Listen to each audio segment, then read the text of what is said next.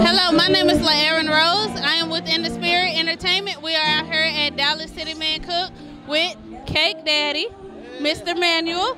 Would you like to tell us what it is your passion is about baking, about cooking, about anything that you do? Well, first of all, I just want to say this is a lovely and wonderful event. We're so honored to be here. But cake, cupcakes, making people smile, that's my passion mainly. And today we brought cupcakes, uh, chocolate, strawberry, lemon, and vanilla. And so everybody's happy. They're all gone, so that's why I'm walking around. okay, you have to save me a chocolate and a vanilla. Say milk chocolate okay. and vanilla.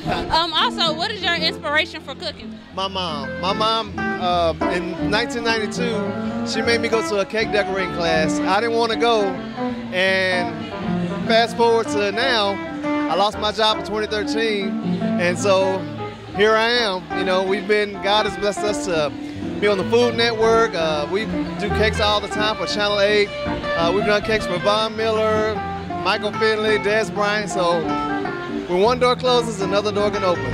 Okay. Um, is there a father or anybody that you would like to say Happy Father's Day to? I'd like to say uh, Happy Father's Day to my dad. Uh, he's Emmanuel Pruitt, Black and Clark Funeral Home, and uh, he's just been an inspiration to me also. And my father-in-law, which is somewhere around here. So those are my two. I'd like to say Happy Father's Day too. Are you a father?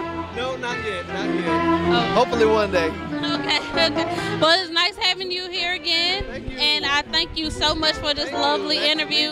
And I am coming to your table, so save me some cupcakes. Okay, all right. I'm for real. Okay. All right. All right.